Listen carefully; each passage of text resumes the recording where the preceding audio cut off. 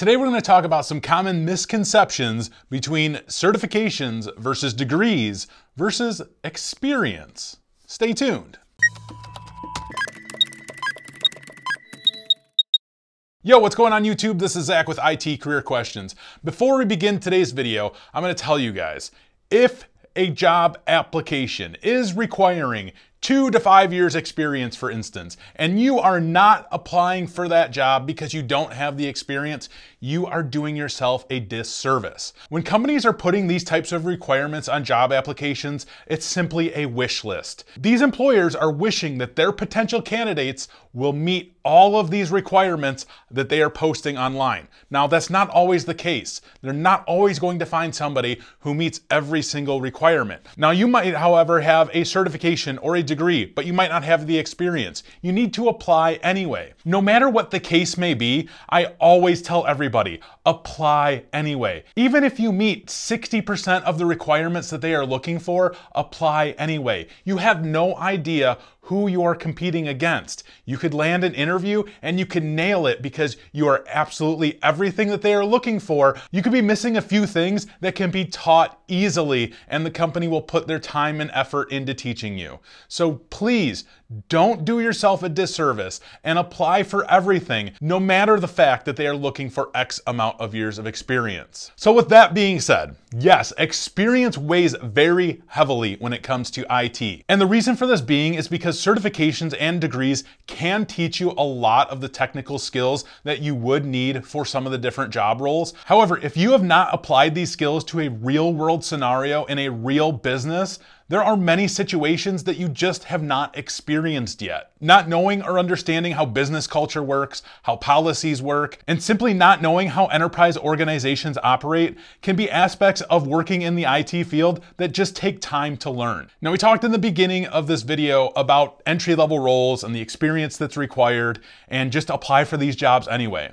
However, when you're looking down the road at higher tier jobs in IT, experience is still weighed very heavily in employers making their decisions decisions on potential candidates. Now, you should know that it is highly unlikely that you're going to go out and take your CCNP certification and land a network administrator job with no experience whatsoever. However, with a few years working in the field, maybe a junior networking role or another role that has maybe many networking duties, you can be qualified then for a network administrator job. It does take experience to then be qualified for many of the top tier jobs. Those are just requirements that you just simply can't bypass.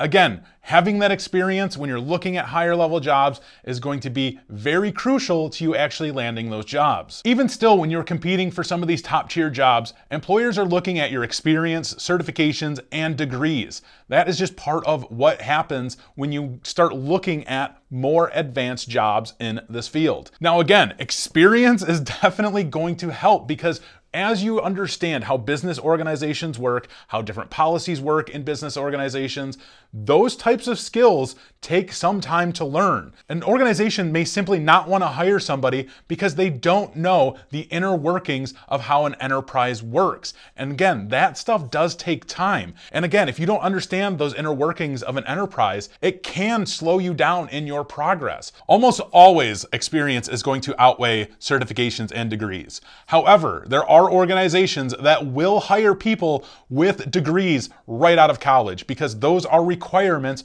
for those job roles. And you may see people with just certifications getting hired over the people with experience simply because the person with experience may not fit their job culture. There's a lot of different aspects at play when going through the hiring process. You can't simply say, well, I didn't have experience and that's why I didn't get hired, or I didn't have this degree and that's why I didn't get hired. Unless specifically the person that you interviewed with told you that's why you didn't get the position a lot of times you are competing with many other people for some of these job roles. You just may not simply meet the requirements that they're looking for. You may not meet that culture that they're looking for. And somebody might just be better qualified than you. And that's okay. So, just to sum everything up, it's a tricky game. It all comes down to what companies are looking for. Experience definitely weighs very heavily in the world of IT. No matter what degrees and certifications you have, experience is always something that employers are looking for.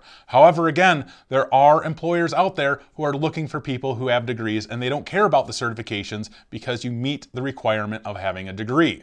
That is just simply the case. Again, certifications, you could have that same thing. Just because you have an A plus certification, you're qualified. They're not looking for you to have experience. They just want to make sure you have that A plus certification and they'll teach you everything that you need to know about that job. So again, don't get discouraged if you're not landing interviews or you're not landing the job roles. There are many aspects at play on what is going on during an interview process. If you're having difficulty getting jobs in IT, even with experience, even with degrees, even with certifications. We're gonna talk about that in another video. And again, just to say it one more time, if you're applying for a job and they are requiring two to five years of experience, apply for that job anyway. If it's an entry level role, apply for it anyway.